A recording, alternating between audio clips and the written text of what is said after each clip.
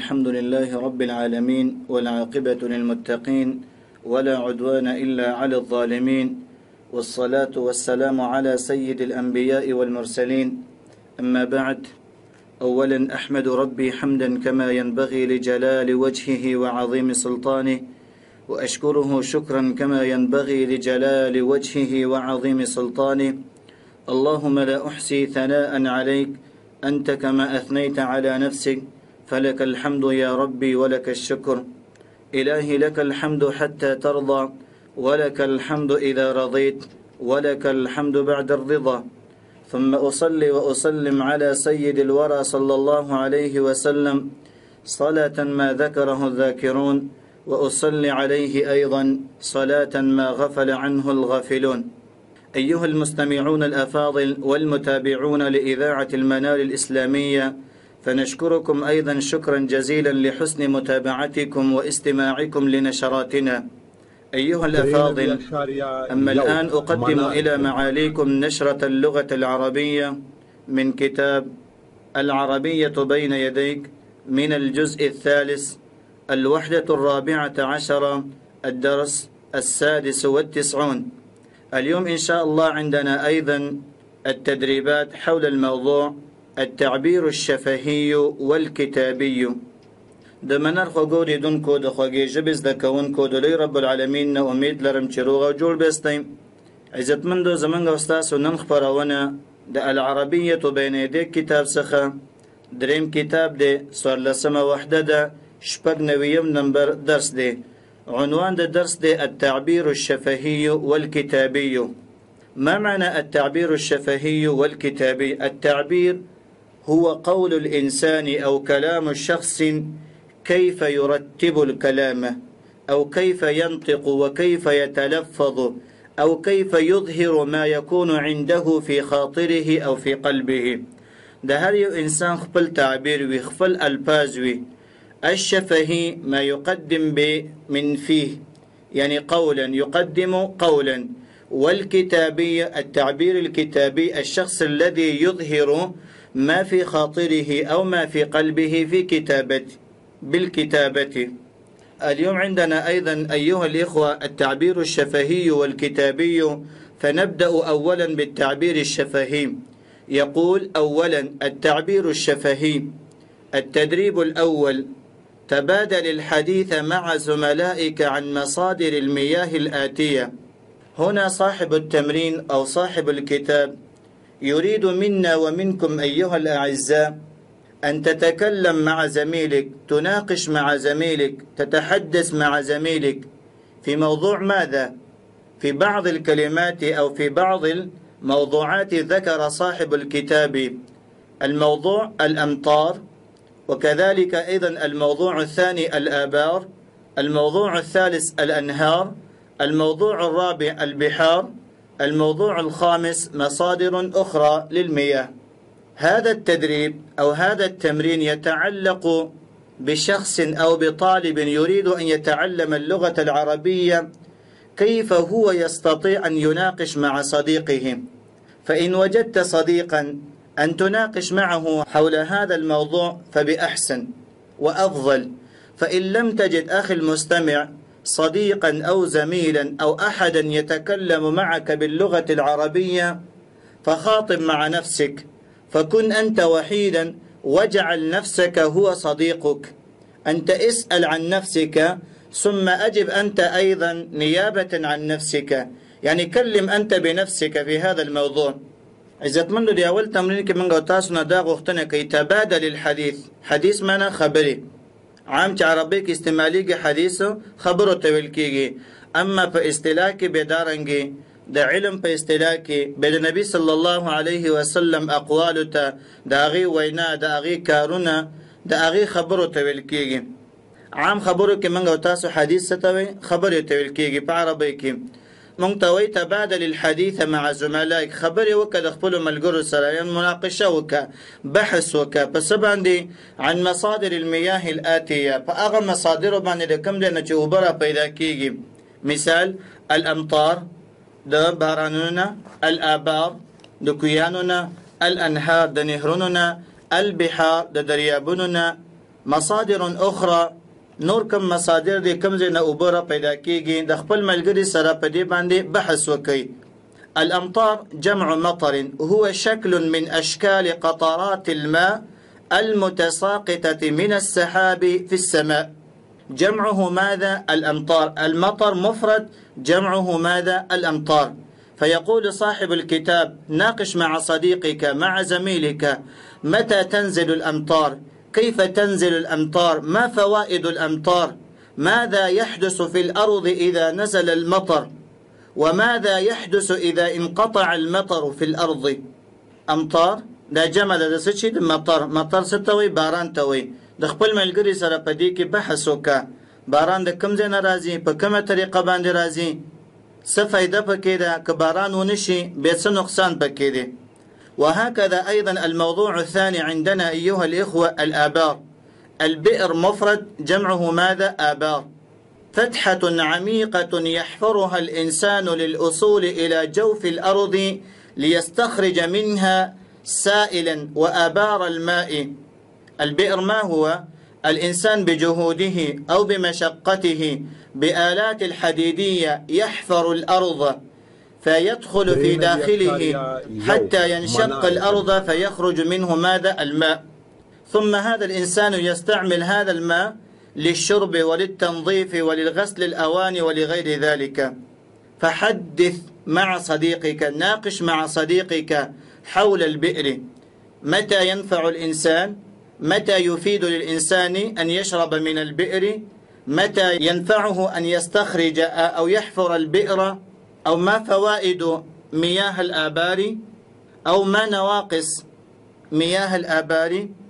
أين ينفع حفر الآبار؟ وأين لا ينفع حفر الآبار؟ ام د قرانګي د ملګرو سره په دې باندې بحث وکړه د کویانو په باره کې چې کم ځکه ډیر فائدناک دي کم ځکه فائدناک نه دي او دا رنګ څنګه استل کېږي وهكذا أيضا ناقش مع إخوانك وأصدقائك حول الموضوع الأنهار. أنهار جمع مفرده ماذا؟ نهر. ماء يجري ويكون أقل من البحر. يستفيد الإنسان منه أمام البيوت للزرع أخذ الماء للبيوت وكذلك أيضا عند استحمام حينما يحتاج الإنسان أن يستحم أو يسبح في النهر. وهكذا أيضا يقول حدث مع زميلك وناقش معه حول الموضوع البحار. البحار جمع مفرده ماذا؟ البحر. البحر يكون فيه ماء أكثر بنسبة النهر. والمصادر الأخرى ماذا؟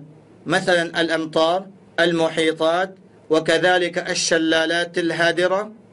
وغير ذلك ما تجده من المصادر الأخرى للمياه فحدث مع زميلك دا عزتمندو اول تمرین موږ نه غوښتنم داسې کوي چې خپل ملګری سره په دې باندې خبرې وکړه. باران په باره کې کویانو باره کې نهرونو باره کې البحار دریابونو باره کې مصادر اخرى که نور کم مصادر لري او بل کم نه پیدا کیږي د خپل ملګری سره په دې باندې بحث وکړه. داغه فواید ذکر کړه. داغه کم نقصانات هغه ذکر کړه. په کم ځای کې دا ډیر کیږي کم ځای کې نه کیږي دا سره بیان کړه التدريب الثاني يقول دا ټول عزتمند زمنګ استاد لپاره مشق او تمرین د کورنۍ وظیفه ده. تبادل الحديث مع زملائك عن دور المياه فيما يلي. دور المياه في الزراعة دور المياه في الصناعة دور المياه في حياة الإنسان أدوار أخرى للمياه.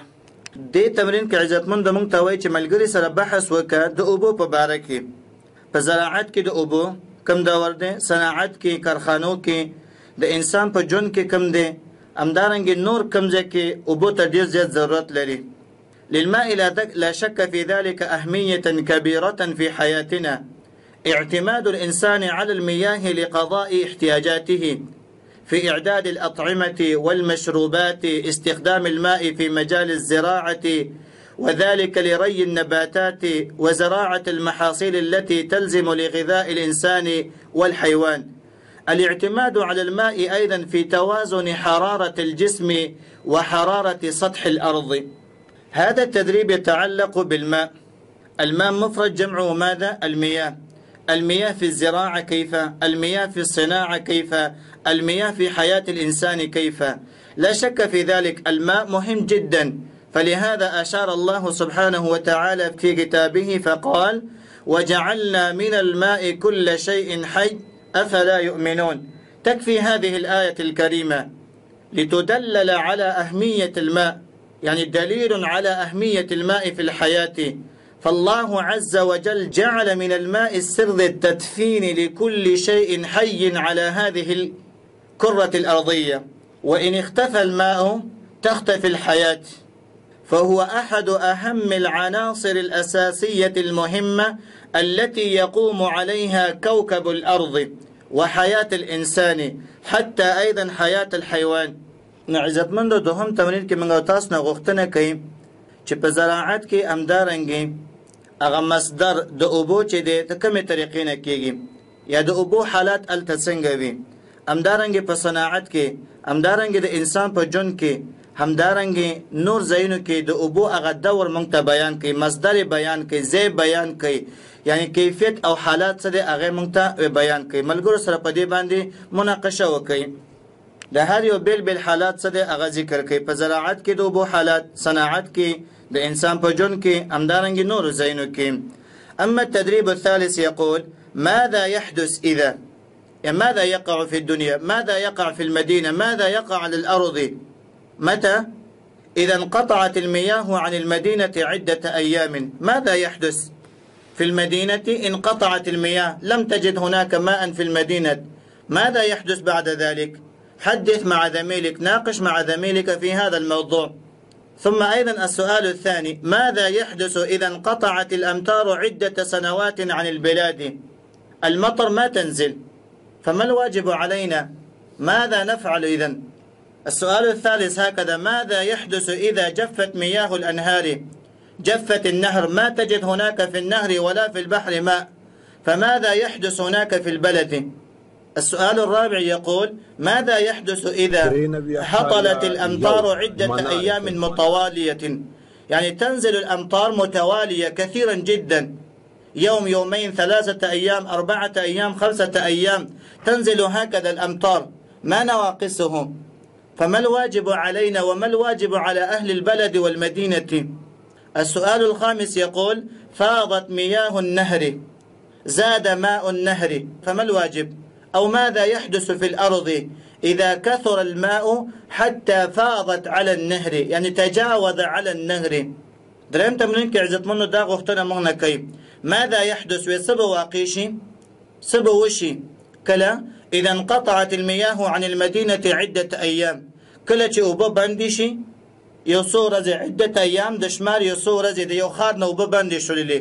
په خار کې اوبه نه پیدا کیږي يزيد العطش فأيضا يجف ماذا الأشجار والثمار فيزيد الأوساخ فيزيد المشاكل أيضا بين الناس حتى أيضا بين أهل الأسرة فيزيد أيضا المشاكل في الأطعمة وكذلك أيضا في الشاي والشربة وغير ذلك. لأن الإنسان لا يستطيع أن يعيش بدون الماء. فإذا انقطعت المياه قد يكون هذا خطرا لموت بعض الناس. وهكذا أيضا يقول ماذا يحدث إذا انقطعت الأمطار عدة سنوات عن البلاد؟ لا شك في ذلك. يقل الزراعة أو ينتهي الزراعة أصلا يزيد الجوع هناك فيكثر المشاكل. لأهل البلد. فالواجب عليهم أن يستغفر الله سبحانه وتعالى وأن يخرجوا كلهم إلى الصحراء ويصلوا بصلاة الاستسقاء ويدعو الله سبحانه وتعالى. السؤال الثالث يقول ماذا يحدث إذا جفت مياه الأنهار؟ لا شك في ذلك يكون أثرا على الزراعة وأيضا قد يكون أثرا على بعض الأسر حينما يستفيدون من الأنهار يأخذون الماء من النهر. للتغسيل أو لتنظيف الأواني أو لتنظيف البيت حتى بعض الأسر يأخذون للشرب أيضا من النهر. ماذا يحدث إذا حطلت الأمطار عدة أيام متوالية؟ وهذا أيضا قد يكون النقصان. فإذا زاد الأمطار على بلد قد يضعف الزراعة أيضا ويخرب أيضا الزراعة فيزول مثلا إن كان القمح أو إن كان السنبل أو إن كان شيء آخر من الثمار أيضا في بعض الأحيان في بعض الأوقات الإنسان لا يريد المطر لكن المطر بيد الله سبحانه وتعالى. ماذا يحدث إذا فاضت مياه النهر؟ يؤثر على البيوت يؤثر على الشوارع يؤثر على أعمال الناس يؤثر أيضا على الشوارع. فالواجب على الناس أن يدافعوا ذلك إما بسبب جدران الأحجار وإما بسبب ملء الكيس أن يملأ الكيس من التراب فيضع بماذا؟ بجانب النهر حتى لا يزيد الماء على ذلك. د عزتمند دریم تمرین د منغو تاسو نه دسه غوښتنه کوي چې سبا واقع شي کله چې وب باندې سوال کې وای کله چې باران بند شي یو څو کاله؟ دریم کې وای کله چې دارنګ اوبه وچی شي په نهرونو کې به واقع شي؟ په دې مکه باندې. څلورم کې وای هطلت الامطار عدة ایام متواليه باران پر لپسې وریږي. ایام متوالیه پر لپسې. هطلت معنا یعنی تنزل المطر. پر لپسې باران وریږي نو څه نقصان به پیدا شي؟ پنځم کې وای فاضت میاه النهر. اوبه دومره زیاتې شو چې په نهر باندې د پاسه واخوتلې. څه نقصان به واقع شي په دغه ځای کې؟ ننتقل الآن أيها الأكارم إلى صفحة أخرى يقول التعبير الكتابي. التدريب الأول. يقول أعد قراءة نص القراءة الحرة المجانين. الواردة في صفحة 301 و303 ثم أعد حكايتها بأسلوبك مستعينا بالعناصر التالية. عزتمندو یو قصې ته اشاره کوي؟ مخکې موږ تاسو اغستې و المجانین په دې نوم باندې په دې عنوان باندې. المجانین لیونی د پلار او د زوی ترمنځ چې کومه قصه راغلی و نو موږ ته وای هغه قصه دوباره تکرار کې هغه وای چې اوم ولله نو به کتابچه راواخله قلم راواخله هغه خلاصه راواخله په خپل الفاظ باندې ولیکه. خو دا شیان پکې هم ولیکه. حیات صاحب القصه قبل ان يرزق بالمولود. دغه قصې خاون چې د کم پلار چې کم شخص چې دغه جون څنګه کله چې بچی نو پیدا شوی د بچی د پیدایش نه مخکې دغه جون څنګه هغه ذکر کا قصه کې. سعادت الوالدین بالطفل الصغير د مور او پلار خوشحالي چې کله ماشوم وړو کې څومره خوشحالي ښکارا کړی و تعلیم الابن فی وطنه. د بچی تعلیم کول په خپل وطن کې. هغه وخت کې دغه حالات څنګه د کورنۍ حالات څنګه څومره ته تمه و څومره ته خوشاله هغه ذکر کا الابن يسافر الى فرنسا لاكمال تعليمه کله چې بيزوي سفر کو فرانسا ته د خپل تعلیم د پوره کېدو لپاره هغه حالات بیان کا څنګه ول اجازه ورکړه؟ ورکول نه ورکول په کوم شرایطو باندې لاړو؟ حیات الابن فی فرانسا به د زوی جون په فرانسا کې څنګه هغه ذکر کا ست ضرورت او سید پلان نه غوښتل به ورپسې وای الاب يبيع البيت پلار کور خرڅي دا کور ولې خرڅو د سو جنه هغه حالت ذکر کا الاب يدخل السجن. پلار چې د جیل ته نوته ولې نوته د سو جنه څه مشکلو؟ الام تعمل غساله مور چې وا دارنګ اغنه دوبۍ جوړه شو یعنی جامع انزلو خزته جوړه شو په پردي کورونو کې د خلکو جامع انزللې دا ته ولې جوړه شو د سو جنه دغه حالت ذکر کوي الابن يعود الى وطنه مع زوجته الفرنسيه زوی چې کله تعلیم پوره کو خپل خار ته به واپس راځي خپل وطن ته. سره د خپل خزه فرانسې خزه دغه حالات ذکر کا الابن يطرد والديه من أمام بيته. زوی به را پاسيږي مور أو پلار شړې د خپل کور مخینه. حسرت و ندامت اخره کې افسوس أو ندامت څه د اغه ښکارا کوي نو عزتمند مونږ ته وای هغه قصه دوباره یو کړه تکرار کړي. دا غي نورسته به را کې په خپل الفاظو باندې تعبیر کې راواخل دا خلاصه کړي. أيها الأكارم لقد شرحنا تلك القصة مرارا. أما اليوم أيضا نكرر مختصرا أيضا. هذه القصة بين الأب وبين الابن. الأب يقول كنت في شباب أذهب صباحا إلى الدكان. أبيع الخضروات أبيع الفجل والباذنجان والعنب وسائر الخضروات وغير ذلك وأيضا أبيع الثمار. حينما أربح شيئا في المساء آخذ به الخبز واللحم فإذا بقي شيئا من الخضروات آخذه أيضا إلى البيت. فالأم أو زوجتي هي التي تقوم بطبخه تطبخ اللحم وتطبخ, وتطبخ ماذا؟ الخضروات. فنأكل في العشاء. ثم نشكر الله سبحانه وتعالى ونحمده ونصلي صلاة المغرب وصلاة العشاء فننام ونحمد الله سبحانه وتعالى. هكذا تستمر حياتنا. فيوما من الأيام قد نزلت علينا الفرحة والسرور. ما ذلك؟ ما تلك الفرحة؟ أن الله سبحانه وتعالى رزق لي الولد. فكنا نتمنى ونشتاق من مدة بعيدة أن يرزقنا الله سبحانه وتعالى ولدا. كل شخص فقط بعد الزواج يتمنى أن يرزق الله سبحانه وتعالى له الولد. الزوج أيضا والزوجة أيضا.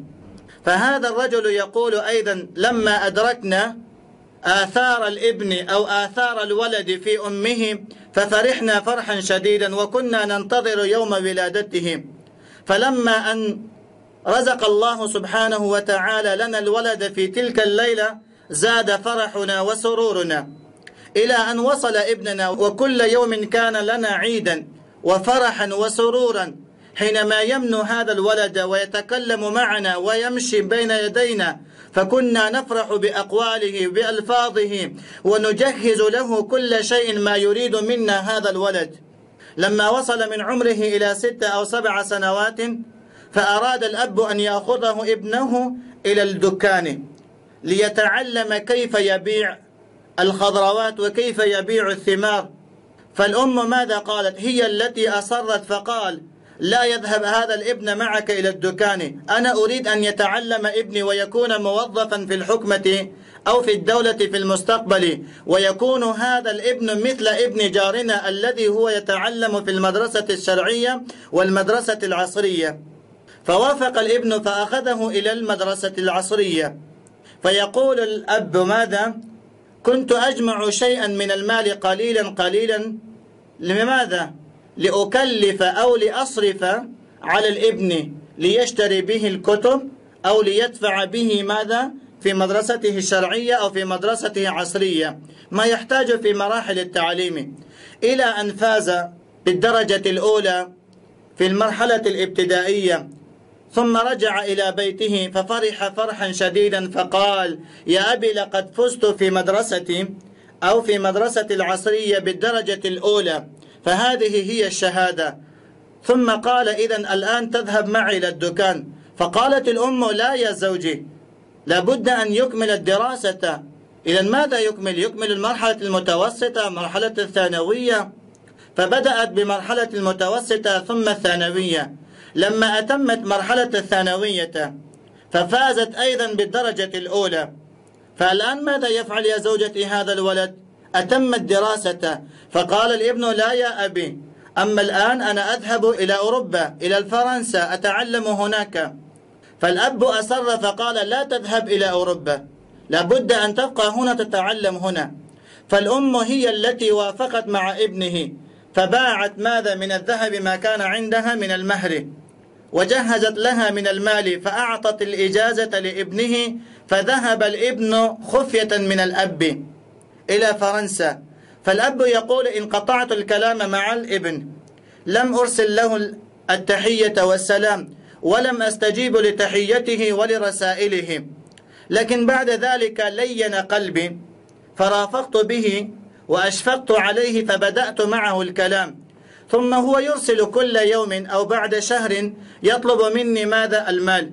فكنت أرسل له قليلا قليلا ثم أزيد حتى طلب مني المال الكثير فقال يا أبي لابد أن ترسل إلي 400 ليرة أو 500 ليرة تقريبا هكذا أو 300 ليرة.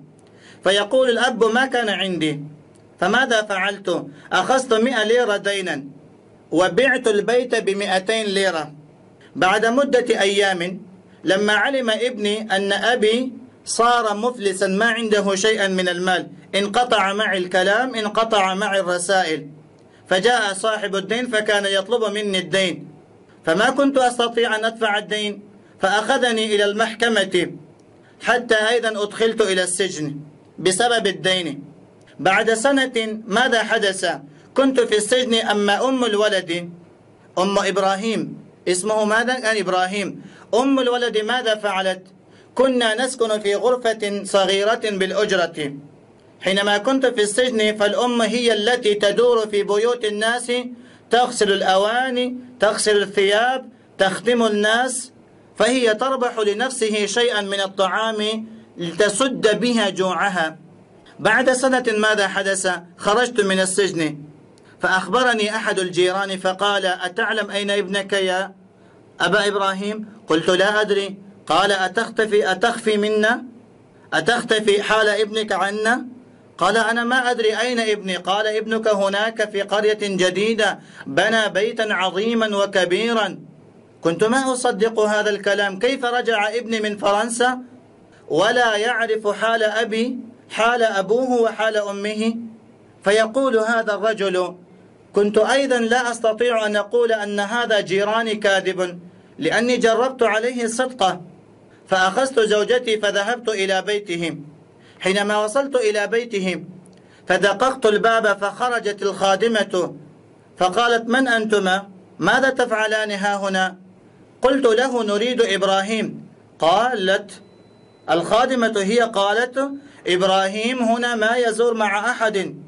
إن تريد إن, إن كان عندكم الحاجة أو مشكلة أو طلب لابد أن تذهب إلى مكتبه. قال ليس عندي حاجة ما نطلب منه شيء. فقد نريد أن نسلمه ونزوره ونقبله ونعانقه. هو ابننا أنا أبوه وهذه أمه. تعجبت الخادمة من فقرنا من أثر ثيابنا من حالنا. فبدأت ماذا؟ الكلام والحوار مع الخادمة حتى ارتفعت أصواتهم. فخرج إبراهيم مع زوجته الفرنسية قال ما هذا التشويش؟ ما هذه الأصوات؟ فغضب. فأرادت الأم أن تسلم مع ابنه وتعانقه وتقبله وأن تسقط نفسها عليه. فهذا الابن ماذا فعل؟ إنه أبى. لكن بكل أسف ابتعد عنها ونفض ما مسته يداه من ثوبه الأنيق.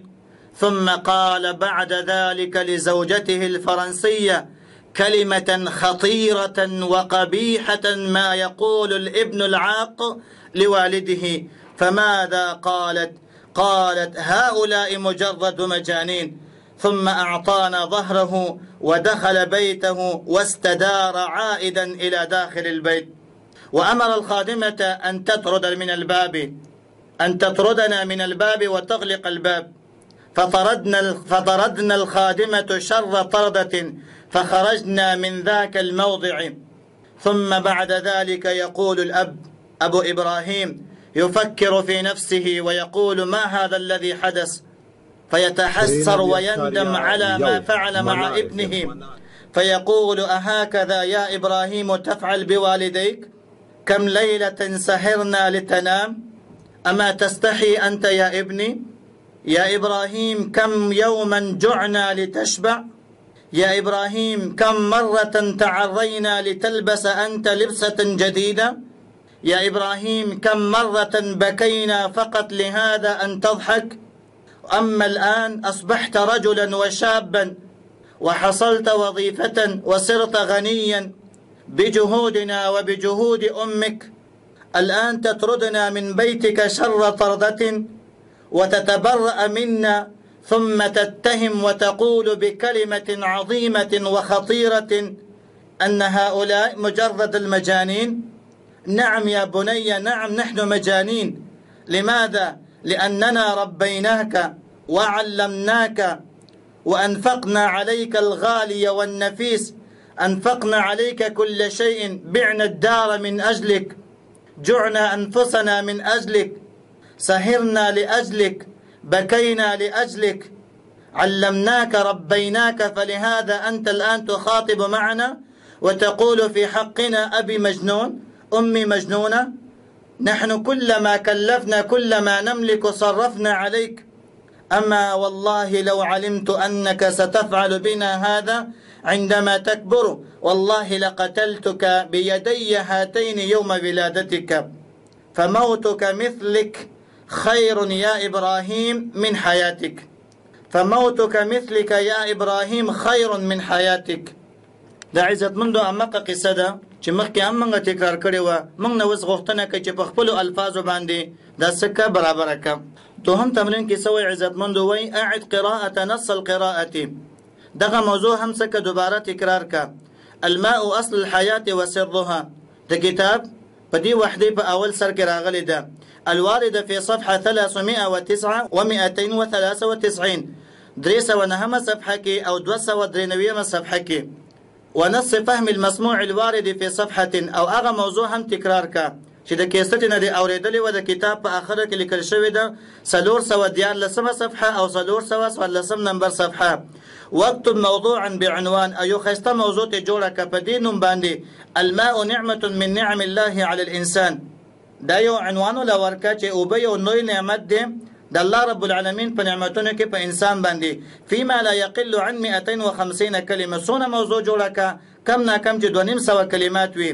مستعینا بالعناصر التاليه خیر دغه اجزاء باندې دغه برخو نه څه فائدہ مواخله په دغه ترتیب باندې وکا مصادر المياه مصادر ذکر کا او بد کم کم ځنه پیدا کیږي. په دې باندې شروع وکا فوائد المياه. د اوبو څه فائدہ د اغه ذکر کا ازمه المياه في العالم ازمه مشکل ته ویل کېږي تکلیف ته ویل کېږي د اوبو تکلیف په نړۍ کې په عالم کې په دنیا کې کم ځکه ده او څنګه پیدا کېږي كيف نشكر هذه النعمه د اوبو منګه صدقم شکر ادا کو د الله رب العالمین په کومه طریقه د الله شکر ادا کو نو عزتمند منګ ته وای دغه قصې څخه دوباره تکرار کا دغه موضوعګانې به داغې نو ورسته را پاسېګا او خسته یو صفحه یو دو صفحې سو کا په خپل الفاظو باندې یو موضوع جوړه کا دا به زمونږ استادو د لپاره عزتمند کورنۍ وظیفه شي دا زمونږ استاد شپږ نویم نمبر درس تر بل خبرونه پورې په لوی رب العالمین سپارمه تل لپاره عزتمن خوشاله کامیاب آباد اوسئ. والسلام علیکم ورحمت الله وبرکاته